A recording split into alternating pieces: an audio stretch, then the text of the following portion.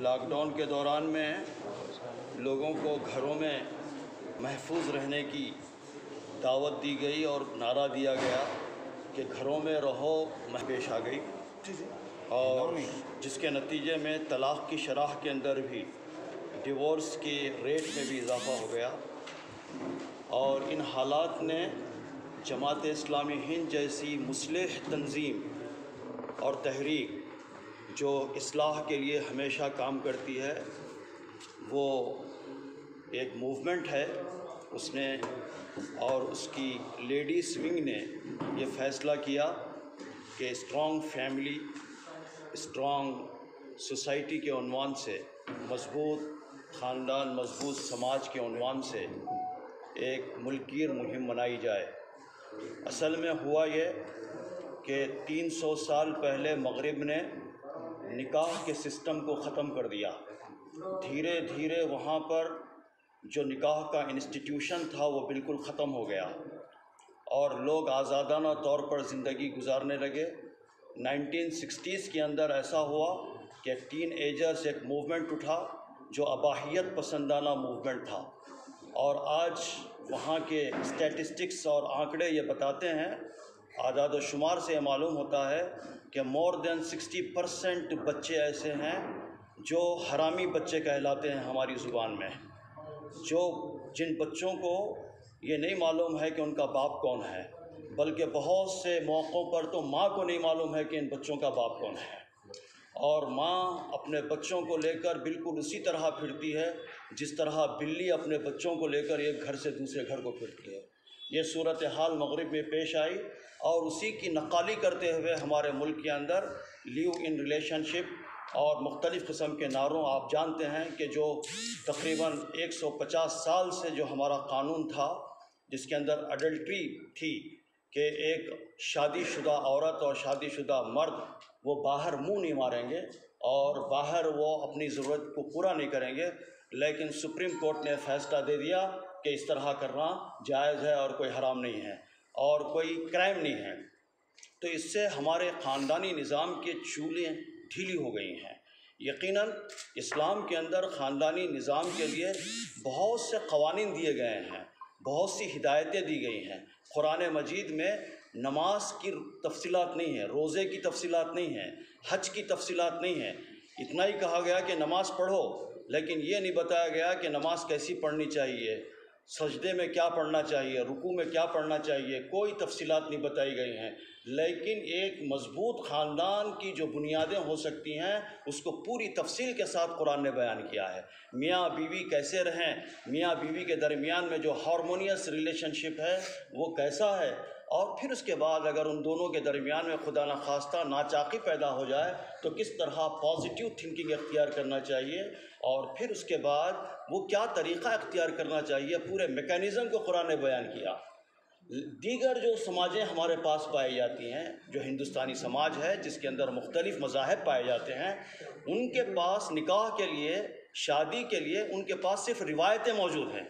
उनके पास खवानी मौजूद नहीं हैं। और रिवायतें और उनका जो ट्रेडिशन है, वो मगरबी तहज़ीब का मुकाबला नहीं कर सकता, जिसके नतीजे में आज हिंदू समाज और हिंदुस्तानी समाज आज बिल्कुल उसकी जद में आया है और उस तूफ़ान के अंदर बह रहा है, जिसके नतीजे में जमात इस्लामी हिंद की लेडीज़ विंग को मजबूर होना पड़ा कि वो एक मुहिम बनाएँ और मुहिम के ज़रिए से ख़ुद मुसलमानों के अंदर निकाह और ख़ानदान जैसा जो मुक़दस इदारा है, जो इंसानों की आबियारी होती है, घर सिर्फ़ चार दीवारी का नाम नहीं है, घर तरबियत गाह का नाम है, वो एक इस्लामी ख़िला है जिसमें शराफत इंसानियत और फिर ज़ुबान ज़ुबान सीखता है बच्चा, अखलाक और आदाब और इकदार सीखता है। एक ऐसे इदारे का नाम घर है। घर सिर्फ़ घर में रहने वाले अफराद का नाम है। घर में रहने वाली चीज़ों का नाम घर नहीं है, ये बताने के लिए। और फिर मियाँ बीवी के दरमियान में अच्छे ताल्लुक हों, रिश्तेदारों के अंदर सिला रहमी के साथ में वो काम करें। और फिर इसी तरह अगर किसी का इंतकाल हो जाए तो विरासत की तकसीम हक बाजानब तरीक़े से सूर निसा की इब्तदाई जितनी चार रुकुआ तसलसल के साथ सिर्फ़ और सिर्फ़ विरासत की तकसीम के ऊपर हैं। तो आप इससे अंदाज़ा कर सकते हैं कि इनहेरिटेंस प्रॉपर्टी के लिए कितनी अहमियत कुरान ने दी है। चार रुकवात तो नमाज़ के लिए बयान नहीं की गई हैं, कहीं कुरान के अंदर।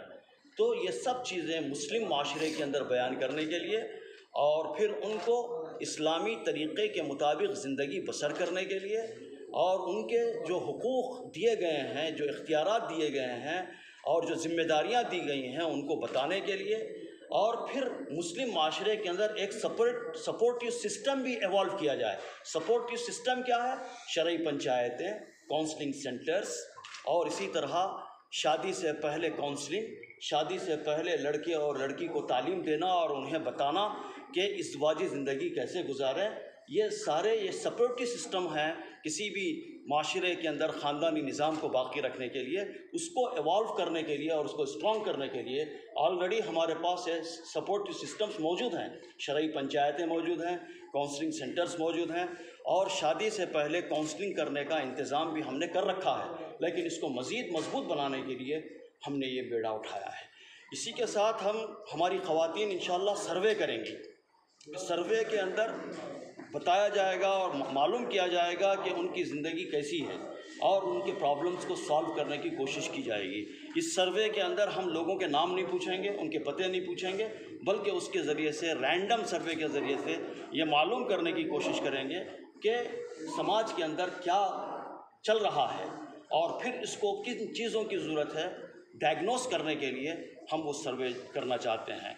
फिर इसी मौके पर हमारी जो लड़कियाँ हैं जी आई ओ के नाम से गर्ल्स इस्लामिक ऑर्गेनाइजेशन वो भी मुख्तलिफ़ किस्म की प्रोग्राम्स करेंगी और उनके अंदर शूर बेदार करेंगी, क्योंकि ये मुस्तबिल की माएँ हैं। अगर ये माएँ दुरुस्त हो जाएँ और माओं के अंदर वो इकदार और वैल्यूज़ और इस्लामी कवानीन से वो वाकिफ़ हो जाएँ तो मैं समझता हूँ कि इस्लामी माशरे के लिए इससे बड़ी चीज़ और कुछ नहीं हो सकती इसी तरह हिंदुस्तानी माशरे के अंदर जो खराबियाँ दर आई हैं, हम बताना चाहते हैं हुकूमत को, हम बताना चाहते हैं ख़ानदान लोगों को, दानश्वरों को, तुमने किस तरह अपने पैर पर कुल्हाड़ी मारी है?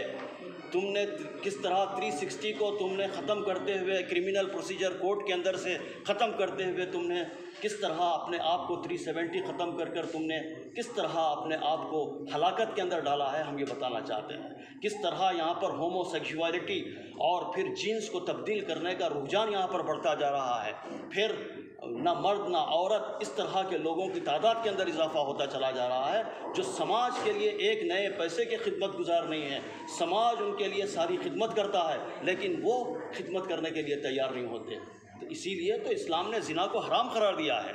ज़िना एक ज़िम्मेदाराना किस्म की चीज़, गैर ज़िम्मेदाराना किस्म की चीज़ है, जिसके अंदर लुत्फ़ अंदोज़ तो होना चाहते हैं वो लोग, वो जोड़ा। रजामंदी से ही सही, लेकिन लुत्फ़ अंदोज़ होना चाहते हैं। लेकिन उस लुत्फ़ के ज़रिए से जो ज़िम्मेदारियाँ उन पर आन पड़ती हैं, उस जिम्मेदारियों को अदा करने के लिए वो तैयार नहीं होते। और फिर लिव एंड रिलेशनशिप के अंदर होता क्या है? होता यह है कि सारी ज़िम्मेदारी औरत पर पड़ जाती है। जैसे ही वो हामिला हो जाती है, मर्द अपना रास्ता लेकर निकल जाता का एक मज़हब पर होना ज़रूरी है। वो सिर्फ़ दोनों जिस्मों के मिलने का मामला नहीं है, बल्कि दोनों जिस्मों का नहीं, बल्कि दोनों रूहों के मिलने का मामला है। उन्हें बताने के लिए, ये तालीमत को आम करने के लिए ही दरअसल ये मुहिम मनाई जा रही है। जहाँ तक किसानों का ताल्लुक़ है हम बिल्कुल सपोर्ट कर रहे हैं और हर जगह वहाँ पर दिल्ली के अंदर भी और पूरे मुल्क के अंदर हमारा सपोर्ट जारी है। बॉम्बे के अंदर भी हमने किया यहाँ पर भी किया।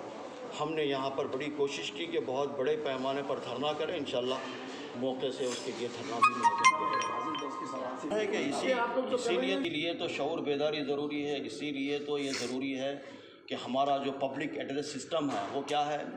वो है जुमा का खुतबा। और हम चाहते हैं कि ख़तीब हजरात ज़िम्मेदाराना तौर पर इन मसाइल को भी एड्रेस करें।